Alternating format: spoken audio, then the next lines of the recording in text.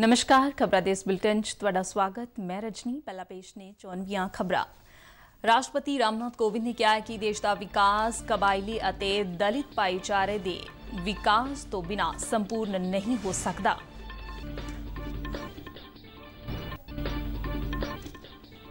ਸੜਕ ਆਵਾਜਾਈ ਤੇ ਕੌਮੀ ਸ਼ਾਹ ਮਾਰਗ ਮੰਤਰਾਲਾ ਨੇ ਸੈਰ ਸਪਾਟਾ ਵਾਹਨਾਂ ਦੇ ਲਈ ਨਵੀਂ ਯੋਜਨਾ ਦਾ ਐਲਾਨ ਕੀਤਾ।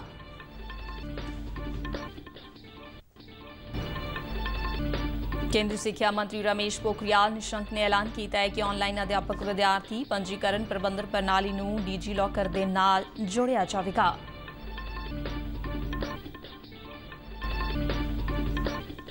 ਪੱਛਮ ਬੰਗਾਲ, ਕੇਰਲ ਤੇ ਤਾਮਿਲਨਾਡੂ ਵਿੱਚ ਚੋਣ ਪ੍ਰਚਾਰ ਤੇਜ਼ ਹੋਣ ਤੋਂ ਬਾਅਦ ਸਿਆਸੀ ਪਾਰਟੀਆਂ ਨੇ ਆਉਣ ਵਾਲੇ ਚੋਣ ਪੜਾਵਾਂ ਦੇ ਲਈ ਉਮੀਦਵਾਰਾਂ ਦੀਆਂ ਸੂਚੀਆਂ ਕੀਤੀਆਂ ਜਾਰੀ।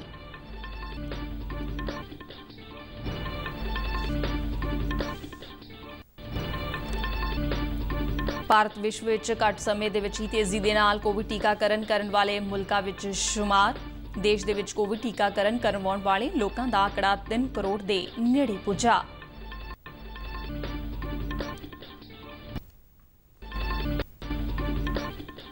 ਜਲੰਧਰ ਜ਼ਿਲ੍ਹੇ ਦੇ ਡਿਪਟੀ ਕਮਿਸ਼ਨਰ ਕੰਸ਼ਾਮ ਥੋਰੀ ਨੇ ਲੋਕਾਂ ਨੂੰ ਕੋਵਿਡ ਟੀਕਾ ਲਗਵਾਉਣ ਦੀ ਅਪੀਲ ਕੀਤੀ। ਸਰਕਾਰੀ ਹਸਪਤਾਲਾਂ ਤੋਂ ਇਲਾਵਾ ਜ਼ਿਲ੍ਹੇ ਦੇ 94 ਪ੍ਰਾਈਵੇਟ ਹਸਪਤਾਲਾਂ ਵਿੱਚ ਵੀ ਟੀਕਾਕਰਨ ਦੇ ਲਈ ਬਕਾਇਦਾ ਪ੍ਰਬੰਧ। ਹੁਣ ਖਬਰਾਂ ਵਿਸਥਾਰ ਨਾਲ। ਰਾਸ਼ਟਰਪਤੀ ਰਾਮਨਾਥ ਕੋਵਿੰਦ ਨੇ ਕਿਹਾ ਕਿ ਦੇਸ਼ ਦਾ ਵਿਕਾਸ ਕਬਾਇਲੀ ਤੇ ਦਲਿਤ ਭਾਈਚਾਰੇ ਦੇ ਵਿਕਾਸ ਤੋਂ ਬਿਨਾਂ ਸੰਪੂਰਨ ਨਹੀਂ ਹੋ ਸਕਦਾ। ਉਹ ਕੱਲ ਉੱਤਰ ਪ੍ਰਦੇਸ਼ ਦੇ ਸੋਨਪ੍ਰਦ ਜ਼ਿਲ੍ਹੇ ਦੇ ਵਿੱਚ ਬਨਵਾਸੀ ਸਮਾਗਮ ਦੌਰਾਨ ਲੋਕਾਂ ਨੂੰ ਸੰਬੋਧਨ ਕਰ ਰਹੇ ਸਨ। ਰਾਸ਼ਟਰਪਤੀ ਨੇ ਦੇਸ਼ ਦੇ ਸਮੁੱਚੇ ਵਿਕਾਸ ਦੀ ਲੋੜ ਤੇ ਜ਼ੋਰ ਦਿੰਦਿਆਂ ਕਿਹਾ ਕਿ ਜਿਵੇਂ ਭਗਵਾਨ ਰਾਮ ਨੇ ਕਬਾਇਲੀਆਂ ਦੀ ਮਦਦ ਦੇ ਨਾਲ ਜਿੱਤ ਹਾਸਲ ਕੀਤੀ। ਹੁਣ ਦੇਸ਼ ਨੂੰ ਵਿਕਾਸ ਦੇ ਰਸਤੇ ਤੇ ਕਬਾਇਲੀ ਭਾਈਚਾਰੇ ਨੂੰ ਨਾਲ ਲੈ ਕੇ ਚੱਲਣ ਦੀ ਜ਼ਰੂਰਤ ਹੈ। ਉੱਤਰ ਪ੍ਰਦੇਸ਼ ਦੇ ਦੌਰੇ ਦੇ ਦੂਜੇ ਦਿਨ ਕੱਲ ਰਾਸ਼ਟਰਪਤੀ ਰਾਮਨਾਥ ਕੋਵਿੰਦ ਨੇ ਸੋਨਪ੍ਰਦ ਜ਼ਿਲ੍ਹੇ ਦੇ ਬਾਫਨੀ ਬਲਾਕ ਦੇ ਚਪੱਕੀ ਖੇਤਰ ਦਾ ਦੌਰਾ ਕੀਤਾ, ਜਿੱਥੇ ਉਹਨਾਂ ਬਨਵਾਸੀ ਸਮਾਗਮ ਦੇ ਵਿੱਚ ਮੁੱਖ ਮਹਿਮਾਨ ਵਜੋਂ ਸ਼ਿਰਕਤ ਕੀਤੀ ਅਤੇ ਸੇਵਾ ਕੁੰਜ ਆਸ਼ਰਮ ਦੀ ਨਵੀਂ ਬਣੀ ਇਮਾਰਤ ਦਾ ਉਦਘਾਟਨ ਕੀਤਾ। ਆਪਣੇ ਸੰਬੋਧਨ ਦੌਰਾਨ ਰਾਸ਼ਟਰਪਤੀ ਨੇ ਕਿਹਾ ਕਿ ਇਨ੍ਹਾਂ ਸੇਵਾ ਆਸ਼ਰਮਾਂ ਨੇ ਕਬਾਇਲੀਆਂ ਦੀ ਸਿੱਖਿਆ ਦੇ ਖੇਤਰ 'ਚ ਅਜਿਹਾ ਯੋਗਦਾਨ ਪਾਇਆ ਕਿ ਲੋਕ ਸੋਨਪ੍ਰਦ ਨਾਮ ਨੂੰ ਉਹਨਾਂ ਦੇ ਕੰਮ ਨਾਲ ਜਾਣਨਗੇ ਰਾਸ਼ਟਰਪਤੀ ਨੇ ਕਿਹਾ ਕਿ ਕਬਾਇਲੀ ਇਲਾਕਿਆਂ ਵਿੱਚ ਸਿੱਖਿਆ ਸੰਸਥਾਵਾਂ ਮੰਦਰਾਂ ਬਾਗ ਨੇ ਉਹਨਾਂ ਕਬਾਇਲੀ ਸੱਭਿਆਚਾਰ ਦੀ ਵਿਸ਼ਾਲਤਾ ਅਤੇ ਵਿਲੱਖਣਤਾ ਦੀ ਸ਼ਲਾਘਾ ਕਰਦਿਆਂ ਕਿਹਾ ਕਿ ਕਬਾਇਲੀਆਂ ਦੇ ਅਮੀਰ ਸੱਭਿਆਚਾਰ ਅਤੇ ਕਲਾ ਨੂੰ ਵਿਕਸਿਤ ਕੀਤੇ ਜਾਣ ਦੀ ਲੋੜ ਹੈ ਉਹਨਾਂ ਕਿਹਾ ਕਿ ਜੇ ਮੌਕਾ ਦਿੱਤਾ ਜਾਵੇ ਅਤੇ ਇਨ੍ਹਾਂ ਕਲਾਕਾਰਾਂ ਦੀ ਮਦਦ ਕੀਤੀ ਜਾਵੇ ਤਾਂ ਇਹ ਆਪਣੀ ਕਾਰਗੁਜ਼ਾਰੀ ਦੇਸ਼ ਦੇ ਵੱਖ-ਵੱਖ ਹਿੱਸਿਆਂ ਦੇ ਨਾਲ-ਨਾਲ ਵਿਦੇਸ਼ਾਂ ਵਿੱਚ ਵੀ ਵਿਖਾਉਣਗੇ वनवासी समुदाय के विकास के बिना देश के समग्र विकास की कल्पना नहीं की जा सकती। सही मायनों में आप सबके विकास के बिना देश का विकास अधूरा है। इसीलिए केंद्र सरकार व राज्य सरकारें वनवासी समुदाय के समग्र विकास के लिए विभिन्न योजनाओं पर काम कर रही हैं। मुझे ये देखकर प्रसन्नता होती है कि वनवासी क्षेत्रों से सफलता की अनेक कहानियाँ हमारे सामने आ रही हैं। देश भर के हमारे आदिवासी बेटे बेटियाँ खेल कूद कला और टेक्नोलॉजी सहित अनेक क्षेत्रों में अपने परिश्रम और प्रतिभा के बल पर देश का गौरव बढ़ा रहे हैं। ਸੜਕ ਆਵਾਜਾਈ ਤੇ ਕੌਮੀ ਰਾਜਮਾਰਗ ਮੰਤਰਾਲਾ ਨੇ ਸੈਰ ਸਪਾਟਾ ਵਾਹਨਾਂ ਦੇ ਲਈ ਨਵੀਂ ਯੋਜਨਾ ਦਾ ਐਲਾਨ ਕੀਤਾ। ਇਸ ਤਹਿਤ ਕੋਈ ਵੀ ਵਾਹਨ ਆਪਰੇਟਰ ਦੇਸ਼ ਭਰ ਵਿੱਚ ਵਾਹਨ ਲੈ ਜਾਣ ਦੇ ਲਈ ਪਰਮਿਟ ਲੈਣ ਲਈ ਅਰਜ਼ੀ ਦੇ ਸਕਦਾ ਹੈ। ਇਹ ਪਰਮਿਟ ਸੰਬੰਧਤ ਦਸਤਾਵੇਜ਼ਾਂ ਦੀ ਪੜਤਾਲ ਫੀਸ ਜਮ੍ਹਾਂ ਕਰਾਉਣ ਤੋਂ 30 ਦਿਨਾਂ ਦੇ ਅੰਦਰ ਅੰਦਰ ਮਿਲ ਜਾਵੇਗੀ। ਇਹ ਨਿਯਮ ਆਲ ਇੰਡੀਆ ਟੂਰਿਸਟ ਵਾਹਨ ਪ੍ਰਮਾਣਿਕਤਾ ਤੇ ਪਰਮਿਟ ਨਿਯਮ 2021 ਇਸ ਸਾਲ ਪਹਿਲੀ ਅਪ੍ਰੈਲ ਤੋਂ ਲਾਗੂ ਹੋਣਗੇ। ਪਰਮਿਟ ਦੇ ਇਹਨਾਂ ਨਵੀਂ ਨਿਯਮਾਂ ਦੇ ਨਾਲ ਪੂਰੇ ਦੇਸ਼ ਵਿੱਚ ਸੈਰ ਸਪਾਟੇ ਨੂੰ ਉਤਸ਼ਾਹ ਮਿਲੇਗਾ। ਕੇਂਦਰੀ ਸਿੱਖਿਆ ਮੰਤਰੀ ਰਮੇਸ਼ ਪੋਖਰਿਆਲ ਨਿਸ਼ੰਕ ਨੇ ਐਲਾਨ ਕੀਤਾ ਹੈ ਕਿ ਆਨਲਾਈਨ ਅਧਿਆਪਕ ਵਿਦਿਆਰਥੀ ਪੰਜੀਕਰਨ ਪ੍ਰਬੰਧਨ ਪ੍ਰਣਾਲੀ ਦੇ ਪ੍ਰਮਾਣ ਪੱਤਰਾਂ ਨੂੰ ਡੀਜੀ ਲੋਕਰ ਦੇ ਨਾਲ ਜੋੜਿਆ ਜਾਵੇਗਾ।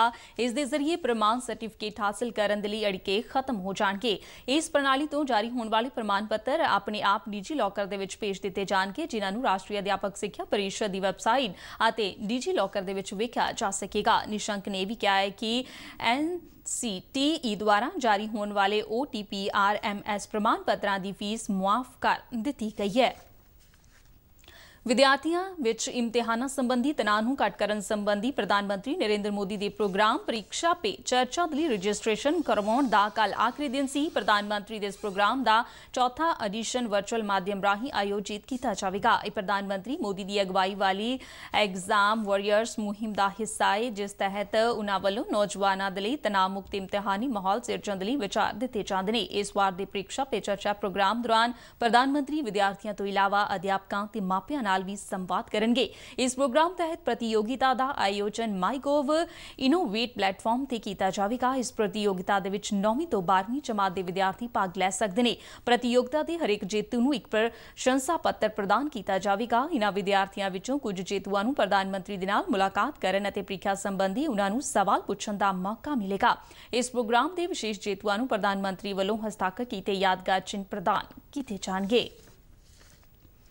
ਵਿਦਿਆਰਥੀਆਂ ਨੂੰ ਪੜ੍ਹਾਈ ਦੇ ਲਈ ਉਤਸ਼ਾਹਿਤ ਕਰਨ ਅਤੇ ਇਮਤਿਹਾਨਾਂ ਪ੍ਰਤੀ ਵਿਦਿਆਰਥੀਆਂ ਅੰਦਰ ਡਰ ਨੂੰ ਘੱਟ ਕਰਨ ਦੇ ਲਈ ਪ੍ਰਧਾਨ ਮੰਤਰੀ ਨਰਿੰਦਰ ਮੋਦੀ ਵੱਲੋਂ ਹਰ ਸਾਲ ਵਿਸ਼ੇਸ਼ ਪ੍ਰੋਗਰਾਮ ਪਰੀਖਿਆ ਪੇ ਚਰਚਾ ਕੀਤਾ ਜਾਂਦਾ ਹੈ ਇਸ ਵਿੱਚ ਦੇਸ਼ ਭਰ ਦੇ ਵੱਖ-ਵੱਖ ਸਕੂਲਾਂ ਦੇ ਵਿਦਿਆਰਥੀ ਅਤੇ ਅਧਿਆਪਕ ਹਿੱਸਾ ਲੈਂਦੇ ਨੇ। ਬੀਤੇ ਸਾਲ ਬਠਿੰਡਾ ਜ਼ਿਲ੍ਹੇ ਦੇ ਪਿੰਡ ਮਲੂਕਾ ਦੇ ਸਰਕਾਰੀ ਕੰਨਿਆ ਸੈਕੰਡਰੀ ਸਕੂਲ ਦੀਆਂ ਪੰਜ ਵਿਦਿਆਰਥਣਾਂ ਨੇ ਇਸ ਪ੍ਰੋਗਰਾਮ ਵਿੱਚ ਹਿੱਸਾ ਲਿਆ ਸੀ। ਇਥੋਂ ਦੀਆਂ ਵਿਦਿਆਰਥਣਾਂ ਅਰਦੀਪ ਕੌਰ, ਰਵਨੀਤ ਕੌਰ, ਮਨਵੀਰ ਕੌਰ, ਵਿਪਨਦੀਪ ਕੌਰ ਅਤੇ ਸੁਮਨਪ੍ਰੀਤ ਕੌਰ ਨੇ ਕਿਹਾ ਕਿ ਦਿੱਲੀ ਵਿੱਚ ਹੋਏ ਪ੍ਰੀਕਸ਼ਾ ਪੇ ਚਰਚਾ ਸਮਾਗਮ ਦੇ ਵਿੱਚ ਸ਼ਿਰਕਤ ਕਰਨ ਸਮੇਂ ਬਿਤਾਇਆ ਉਹ ਸਮਾਂ ਉਹਨਾਂ ਨੂੰ ਅੱਜ ਵੀ ਯਾਦ ਆਉਂਦਾ ਹੈ। ਅਰਦੀਪ ਕੌਰ ਕਹਿੰਦੀ ਹੈ ਕਿ ਉਸ ਵੱਲੋਂ ਪ੍ਰੀਖਿਆ ਦੇ ਵਿੱਚ ਡਰ ਬਾਰੇ ਪੁੱਛੇ ਸਵਾਲ ਦਾ ਪ੍ਰਧਾਨ ਮੰਤਰੀ ਨਰਿੰਦਰ ਮੋਦੀ ਨੇ ਬਹੁਤ ਵਧੀਆ ਜਵਾਬ ਦਿੱਤਾ ਅਤੇ ਆਪਣੇ ਅੰਦਰ ਆਤਮ ਵਿਸ਼ਵਾਸ ਰੱਖਣ ਦੀ ਗੱਲ ਕਹੀ। ਉਸ ਦਿਨ ਤੋਂ ਬਾਅਦ ਅਰਦੀਪ ਨੂੰ ਆਪਣੀ ਜ਼ਿੰਦਗੀ ਵਿੱਚ ਬਦਲਾ ਮਹਿਸੂਸ ਹੋਇਆ। ਜਦੋਂ ਅਸੀਂ ਪ੍ਰੀਖਿਆ ਪੇ ਚਰਚਾ ਪ੍ਰੋਗਰਾਮ ਵਿੱਚ ਗਏ, ਉੱਥੇ ਸਾਨੂੰ ਕੁਐਸਚਨ ਪੁੱਟ ਕਰਨ ਦਾ ਮੌਕਾ ਮਿਲਿਆ ਤਾਂ ਮੈਂ ਪੀਐਮ ਜੀ ਨਾਲ ਗੱਲਬਾਤ ਕੀਤੀ ਤਾਂ ਮੇਰਾ ਇਸ ਵਿੱਚ ਕੁਐਸਚਨ ਇਹ ਸੀਗਾ ਕਿ ਮੈਂ ਬੋਰਡ ਦੇ ਐਗਜ਼ਾਮ ਦੇ ਵਿੱਚ ਤਾਂ ਚੰਗੇ ਅੰਕ ਪ੍ਰਾਪਤ ਕਰ ਸਕਦੀ ਹਾਂ, ਲੇਕਿਨ ਜਦੋਂ ਬਾਤ ਕੰਪੀਟੀਟਿਵ ਐਗਜ਼ਾਮ ਦੀ ਆਉਂਦੀ ਆ ਤਾਂ ਉਦੋਂ ਸਾਨੂੰ ਟੈਨਸ਼ਨ ਕਿਉਂ ਹੋ ਜਾਂਦੀ ਆ? ਅਸੀਂ ਡਰ, ਸਾਨੂੰ ਡਰ ਕਿਉਂ ਲੱਗਣ ਲੱਗ ਜਾਂਦਾ? ਤਾਂ ਪੀਐਮ ਜੀ ਨੇ ਬਹੁਤ ਹੀ ਵਧੀਆ ਮੈਨੂੰ ਆਨਸਰ ਦਿੱਤਾ। ਉਹਨਾਂ ਨੇ ਮੈਨੂੰ ਕਿਹਾ ਕਿ ਜੇਕਰ ਸਾਡੇ ਵਿੱਚ ਆਤਮ ਵਿਸ਼ਵਾਸ ਹੈਗਾ, ਤਾਂ ਸਾਨੂੰ ਕਿਸੇ ਵੀ ਐਗਜ਼ਾਮ ਦੇ ਵਿੱਚ ਡਰਨ ਦੀ ਲੋੜ ਨਹੀਂ। ਸਾਨੂੰ ਟੈਨਸ਼ਨ ਨਹੀਂ ਲੈਣੀ ਚਾਹੀਦੀ। ਅਸੀਂ ਪ੍ਰੀਖਿਆ ਪੇ ਚਰਚਾ ਪ੍ਰੋਗਰਾਮ ਵਿੱਚ ਦਿੱਲੀ ਵਿਖੇ ਜੋ ਹੋਇਆ ਸੀ, ਉਹਦੇ ਵਿੱਚ ਭਾਗ ਲਿੱਤਾ ਤੇ ਸਾਨੂੰ ਬਹੁਤ ਹੀ ਜ਼ਿਆਦਾ ਕੁਝ ਸਿੱਖਣ ਨੂੰ ਮਿਲਿਆ।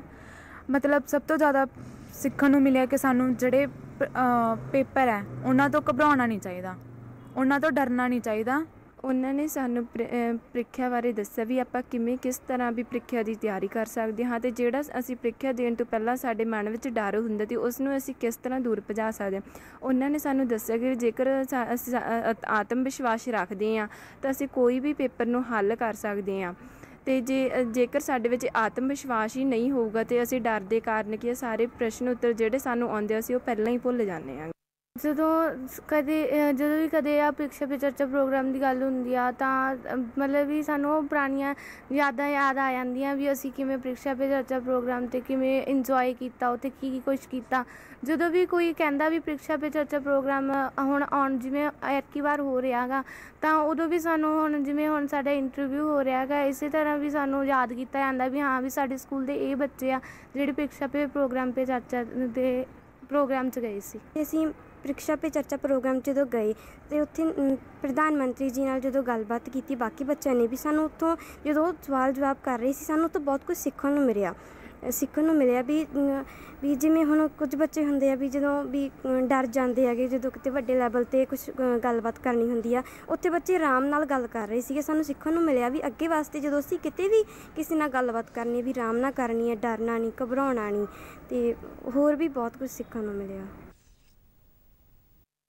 ਚੋਣ ਕਮਿਸ਼ਨ ਨੇ ਕਿਹਾ ਕਿ ਮਮਤਾ ਬੈਨਰਜੀ ਨੂੰ ਨੰਦੀਗ੍ਰਾਮ ਦੇ ਵਿੱਚ ਸੁਰੱਖਿਆ ਦੇ ਵਿੱਚ ਅਣਗਹਿਲੀ ਕਾਰਨ ਚੋਟ ਆਈ ਸੀ। ਇਸ ਸੰਬੰਧ ਦੇ ਵਿੱਚ ਪ੍ਰਾਪਤ ਰਿਪੋਰਟ ਤੋਂ ਬਾਅਦ ਚੋਣ ਕਮਿਸ਼ਨ ਨੇ ਪੱਛਮ ਬੰਗਾਲ ਦੀ ਮੁੱਖ ਮੰਤਰੀ ਮਮਤਾ ਬੈਨਰਜੀ ਨੂੰ ਆਈ ਚੋਟਨੀ ਘਟਨਾ ਦੇ ਮਾਮਲੇ ਸੰਬੰਧੀ ਸੂਬੇ ਦੇ ਵਿਸ਼ੇਸ਼ ਅਬਜ਼ਰਵਰ ਅਤੇ ਮੁੱਖ ਸਕੱਤਰ ਵੱਲੋਂ ਭੇਜੀ ਗਈ ਰਿਪੋਰਟ ਦੇ ਮੱਦੇਨਜ਼ਰ ਪੱਛਮ ਬੰਗਾਲ ਦੀ ਮੁੱਖ ਮੰਤਰੀ ਦੇ ਸੁਰੱਖਿਆ, ਡਾਇਰੈਕਟਰ ਵਿਵੇਕ ਸਹਾਇ ਅਤੇ ਐਸਪੀ ਪੁਲਿਸ, ਪੂਰਬਾ ਮੈਦਨੀਪੁਰ ਪ੍ਰਵੀਨ ਪ੍ਰਕਾਸ਼ ਨੂੰ ਮੁਅਤਲ ਕਰ ਦਿੱਤਾ ਹੈ। ਜ਼ਿਲ੍ਹਾ ਮੈਜਿਸਟ੍ਰੇਟ ਪੂਰਵਾ ਮੈਦਨੀਪੁਰ ਦਾ ਤਬਾਦਲਾ ਕਰ ਦਿੱਤਾ ਗਿਆ ਹੈ। ਚੋਣ ਕਮਿਸ਼ਨ ਨੇ ਮੁੱਖ ਸਕੱਤਰ ਤੋਂ ਸੰਬੰਧਤ ਪੁਲਿਸ ਕੇਸ ਦੇ ਵਿੱਚ ਸਾਰੀ ਕਾਰਵਾਈ 31 ਮਾਰਚ ਤੱਕ ਮੁਕੰਮਲ ਕਰਕੇ ਚੋਣ ਕਮਿਸ਼ਨ ਨੂੰ ਰਿਪੋਰਟ ਦੇਣ ਦੇ ਲਈ ਆਖਿਆ ਹੈ। ਇਸੇ ਦੌਰਾਨ ਪੰਜਾਬ ਦੇ ਸਾਬਕਾ ਡੀਜੀਪੀ ਇੰਟੈਲੀਜੈਂਸ ਅਨਿਲ ਕੁਮਾਰ ਸ਼ਰਮਾ ਨੂੰ ਵਿਵੇਕ ਦੁਬੇ ਤੋਂ ਇਲਾਵਾ ਦੂਜਾ ਵਿਸ਼ੇਸ਼ ਪੁਲਿਸ ਅਫਸਰ ਨਿਯੁਕਤ ਕੀਤਾ ਗਿਆ। ਪੱਛਮ ਬੰਗਾਲ, ਕੇਰਲ ਤੇ ਤਾਮਿਲਨਾਡੂ ਚੋਣ ਪ੍ਰਚਾਰ ਤੇਜ਼ ਹੋਣ ਦੇ ਨਾਲ ਵੱਖ-ਵੱਖ ਸਿਆਸੀ ਪਾਰਟੀਆਂ ਨੇ ਇਨ੍ਹਾਂ ਸੂਬਿਆਂ ਵਿੱਚ ਆਉਣ ਵਾਲੇ ਚੋਣ ਪੜਾਵਾਂ ਦੇ ਲਈ ਉਮੀਦਵਾਰਾਂ ਦੀਆਂ ਸੂਚੀਆਂ ਜਾਰੀ ਕੀਤੀਆਂ ਨੇ। ਭਾਰਤੀ ਜਨਤਾ ਪਾਰਟੀ ਵੱਲੋਂ ਪੱਛਮ ਬੰਗਾਲ ਦੇ ਲਈ ਜਾਰੀ ਉਮੀਦਵਾਰ ਸੂਚੀ ਦੇ ਵਿੱਚ ਕੁਝ ਸੰਸਦ ਮੈਂਬਰ ਵੀ ਸ਼ਾਮਲ ਨੇ।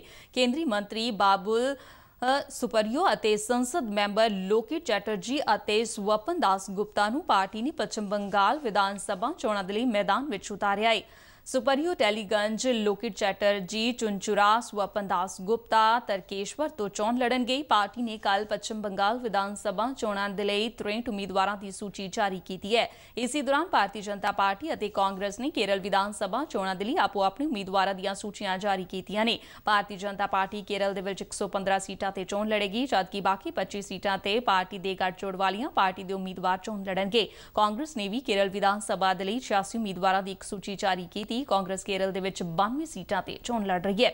ਉਧਰ ਤਾਮਿਲਨਾਡੂ ਅਸੈਂਬਲੀ ਚੋਣਾਂ ਦੇ ਲਈ ਕਾਂਗਰਸ ਪਾਰਟੀ ਨੇ 21 ਅਤੇ ਭਾਰਤੀ ਜਨਤਾ ਪਾਰਟੀ ਨੇ 17 ਉਮੀਦਵਾਰਾਂ ਦੀ ਸੂਚੀ ਜਾਰੀ ਕੀਤੀ ਹੈ। ਭਾਰਤੀ ਜਨਤਾ ਪਾਰਟੀ ਨੇ ਪੰਜਾਬ ਦੇ ਜ਼ੇਲ ਤੇ ਸਹਿਕਾਰਤਾ ਮੰਤਰੀ ਸੁਖਜਿੰਦਰ ਸਿੰਘ ਰੰਦਾਵਾ ਵੱਲੋਂ ਕਥਿਤ ਤੌਰ ਤੇ ਉੱਤਰ ਪ੍ਰਦੇਸ਼ ਦੇ ਵਿੱਚ ਬੰਦ ਅਪਰਾਧੀ ਮੁਖਤਾਰ ਅੰਸਾਰੀ ਦੇ ਰਿਸ਼ਤੇਦਾਰਾਂ ਨੂੰ ਮਿਲਣ ਦੀ ਨਿੰਦਾ ਕੀਤੀ ਹੈ। ਪਾਰਟੀ ਦੇ ਕੌਮੀ ਸਕੱਤਰ ਤਰੁਣ ਚੁਗ ਨੇ ਚੰਡੀਗੜ੍ਹ ਤੋਂ ਜਾਰੀ ਇੱਕ ਬਿਆਨ ਦੇ ਵਿੱਚ ਦੋਸ਼ ਲਗਾਇਆ ਕਿ ਮੰਤਰੀ ਨੇ ਉੱਤਰ ਪ੍ਰਦੇਸ਼ ਦੇ ਵਿੱਚ ਜਾ ਕੇ ਅੰਸਾਰੀ ਦੇ ਰਿਸ਼ਤੇਦਾਰਾਂ ਦੀ ਮੇਜ਼ਬਾਨੀ ਕਬੂਲੀ ਹੈ, ਜਿਸ ਦੇ ਨਾਲ ਪੰਜਾਬ ਦੇ ਅਕਸ ਨੂੰ ਢਾਲ ਲੱਗੀ ਹੈ। ਚੁਗ ਨੇ ਇਹ ਵੀ ਦੋਸ਼ ਲਗਾਇਆ ਕਿ ਪੰਜਾਬ ਦੇ ਮੁੱਖ ਮੰਤਰੀ ਅਤੇ ਕੌਮੀ ਲੀਡਰਸ਼ਿਪ ਦੇ ਹੋਰ ਕਾਂਗਰਸੀ ਨੇਤਾਵਾਂ ਦੇ ਇਸ਼ਾਰੇ ਤੇ ਉੱਤਰ ਪ੍ਰਦੇਸ਼ ਦੇ ਵਿੱਚ ਅਪਰਾਧੀ ਪਿਛੋਕੜ ਵਾਲੇ ਲੋਕਾਂ ਦੇ ਨਾਲ ਤਾਲਮੇਲ ਵਧਾ ਰਹੇ ਨੇ ਤਾਂ ਜੋ ਉਥੋਂ ਦੀ ਸਰਕਾਰ ਨੂੰ ਕਮਜ਼ੋਰ ਕੀਤਾ ਜਾ ਸਕੇ। ਸ਼੍ਰੋਮਣੀ ਅਕਾਲੀ ਦਲ ਦੇ ਪ੍ਰਧਾਨ ਸੁਖਬੀਰ ਸਿੰਘ ਬਾਦਲ ਨੇ ਕਿਹਾ ਕਿ ਪਾਰਟੀਆਂ ਵੱਲੋਂ ਸਾਰੀ 117 ਵਿਧਾਨ ਸਭਾ ਹਲਕਿਆਂ ਵਿੱਚ ਰੈਲੀਆਂ ਕੀਤੀਆਂ ਜਾਣਗੀਆਂ ਤੇ ਪੰਜਾਬ ਸਰਕਾਰ ਤੋਂ ਚੋਣ ਵਾਅਦੇ ਪੂਰੇ ਨਾ ਕਰਨ ਦੇ ਲਈ ਜਵਾਬ ਮੰਗਿਆ ਜਾਵੇਗਾ।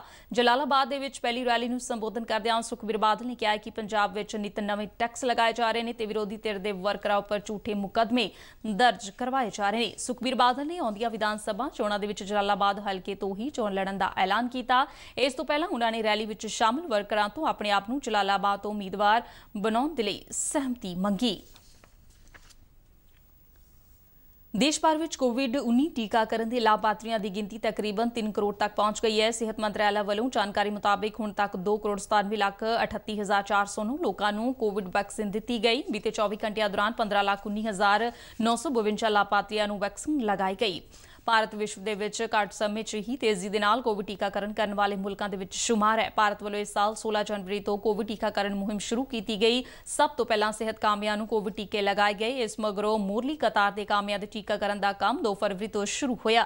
ਪਹਿਲੀ ਮਾਰਚ ਤੋਂ ਸਰਕਾਰ ਵੱਲੋਂ 60 ਸਾਲ ਤੋਂ ਵੱਧ ਉਮਰ ਦੇ ਬਜ਼ੁਰਗਾਂ ਤੇ ਹੋਰ ਗੰਭੀਰ ਬਿਮਾਰੀਆਂ ਦੇ ਨਾਲ ਪੀੜਿਤ ਲੋਕਾਂ ਦੇ ਟੀਕਾਕਰਨ ਦਾ ਕੰਮ ਸ਼ੁਰੂ ਕੀਤਾ ਗਿਆ। ਸਿਹਤ ਮੰਤਰਾਲੇ ਨੇ ਦੱਸਿਆ ਹੈ ਕਿ ਮੌਜੂਦਾ ਪੜਾਅ ਦੇ ਸਿਰਫ 13 ਦਿਨਾਂ ਦੌਰਾਨ 78 ਲੱਖ ਤੋਂ ਵੱਧ 60 ਸਾਲ ਤੋਂ ਵਧੇਰੇ ਉਮਰ ਵਾਲੇ ਨਾਗਰਿਕਾਂ ਨੂੰ ਟੀਕੇ ਲਗਾਏ ਜਾ ਚੁੱਕੇ ਨੇ। ਇਸ ਤੋਂ ਇਲਾਵਾ 45 ਸਾਲ ਤੋਂ ਵੱਧ ਉਮਰ ਵਰਗ ਦੇ ਸਹਿ ਬਿਮਾਰੀਆਂ ਵਾਲੇ 13,86,000 ਤੋਂ ਵੱਧ ਲੋਕਾਂ ਨੂੰ ਕੋਰੋਨਾ ਦੀ ਪਹਿਲੀ ਖੁਰਾਕ ਦਿੱਤੀ ਜਾ ਚੁੱਕੀ ਹੈ। ਸਿਹਤ ਮੰਤਰਾਲਾ ਨੇ ਦੱਸਿਆ ਕਿ ਦੇਸ਼ ਵਿੱਚ ਇਸ ਸਮੇਂ ਕੋਰੋਨਾ ਤੋਂ ਠੀਕ ਹੋਣ ਦੀ ਦਰ 96.75% ਹੈ। ਬੀਤੇ 24 ਘੰਟਿਆਂ ਦੌਰਾਨ 16,637 ਕੋਰੋਨਾ ਮਰੀਜ਼ ਸਿਹਤਯਾਬ ਹੋਏ। ਹੁਣ ਤੱਕ 1 ਕਰੋੜ 9 ਲੱਖ 90 ਹਜ਼ਾਰ ਦੇ ਕਰੀਬ ਮਰੀਜ਼ਾਂ ਨੂੰ ਕੋਰੋਨਾ ਤੋਂ ਛੁਟਕਾਰਾ ਮਿਲ ਚੁੱਕਿਆ ਹੈ।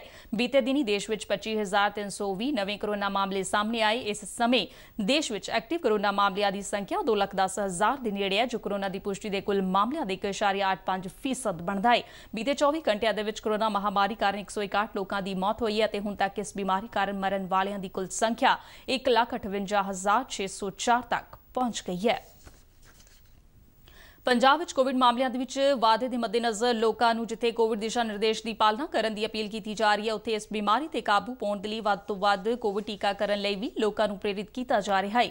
ਜਲੰਧਰ ਜ਼ਿਲ੍ਹੇ ਦੇ ਡਿਪਟੀ ਕਮਿਸ਼ਨਰ ਕਨਸ਼ਾਮ ਥੋਰੀ ਨੇ ਲੋਕਾਂ ਦੇ ਲਈ ਜਾਰੀ ਇੱਕ ਸੁਨੇਹੇ ਦੇ ਵਿੱਚ ਦੱਸਿਆ ਹੈ ਕਿ ਹੁਣ 60 ਸਾਲ ਤੋਂ ਵੱਧ ਉਮਰ ਦੇ ਕੋਈ ਵੀ ਵਿਅਕਤੀ ਆਪਣਾ ਕੋਵਿਡ ਟੀਕਾਕਰਨ ਕਰਵਾ ਸਕਦੇ ਨੇ, ਜਿਸ ਵਾਸਤੇ ਸਰਕਾਰੀ ਹਸਪਤਾਲਾਂ ਤੋਂ ਇਲਾਵਾ ਜ਼ਿਲ੍ਹੇ ਦੇ ਚੋਣਵੇਂ ਪ੍ਰਾਈਵੇਟ ਹਸਪਤਾਲਾਂ ਵਿੱਚ ਵੀ ਬਕਾਇਦਾ ਪ੍ਰਬੰਧ ਕੀਤੇ ਗਏ ਨੇ।